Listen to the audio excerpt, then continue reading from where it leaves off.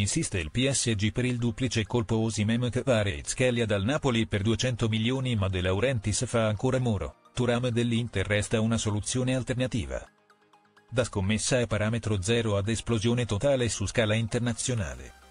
Marcus Thuram ci ha messo poco più di una stagione a ribaltare il proprio status nel calderone degli attaccanti di spessore in Europa, sia grazie ai successi di squadra raggiunti con l'Inter che a quelli meramente personali inclusa la partecipazione all'Europeo, ormai prossimo alla conclusione con la sola finale da disputare. Tale salto di qualità e il buon margine di crescita di cui dispone lo hanno reso un profilo particolarmente seguito anche dalle big, nonostante ciascuna di esse è ben consapevole di quanto l'Inter sia ferrata sul proprio centravanti perché ritenuto al momento insostituibile per fare coppia lì davanti con Lautaro Martinez. Volgere un'offerta alla dirigenza nerazzurra resta dunque soltanto un'idea lontana dall'essere concretizzata per molti, ma così potrebbe non essere per il Paris Saint-Germain che ancora attende il vero colpo da paura per sostituire l'uscente Kylian Mbappé non ancora presentato in via ufficiale da Real Madrid. Turam però è a detta di alcuni soltanto una forma di ripiego, una pedina alternativa nel caso in cui la dirigenza parigina non dovesse riuscire a raggiungere i due veri obiettivi di mercato di questa sessione estiva.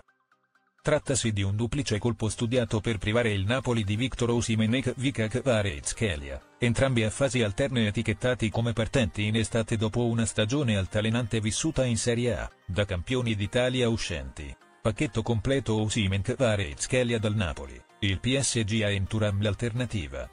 Stando alle parole di Paolo Bargigia diramate sul suo profilo X, il duo partenopeo potrebbe essere messo sotto scacco da un'offerta di 200 milioni di euro presentata al cospetto del Napoli.